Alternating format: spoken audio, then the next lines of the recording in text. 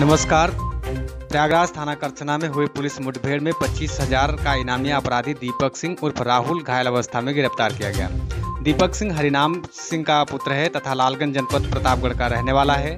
सातिर अपराधी दीपक के विरुद्ध कुल पाँच मुकदमे हैं, जिनमें लूट एवं डकैती जैसे संगीन धाराएँ दर्ज हैं। इनमें से चार मुकदमे जनपद प्रतापगढ़ में दर्ज हैं। 16 मार्च 2022 को थाना करछना अंतर्गत मंगला प्रसाद पांडे की हत्या में फरार चल रहा था। सायम हुई मुठभेड़ में दीपक के बाएँ पैर में गोली लगी है। दीपक के पास एक पैसन प्रो बाइक, एक देसी तमंचा 315 बोर तथा दो ज़िंदा कारतूस बरामद किए गए हैं। घायल अपराधी को चिकित्सीय इलाज हेतु सी सीएचसी कलसना भेजा गया है। प्रयाग एक्सप्रेस न्यूज़ से crime department head Shivam Nandan की खास रिपोर्ट।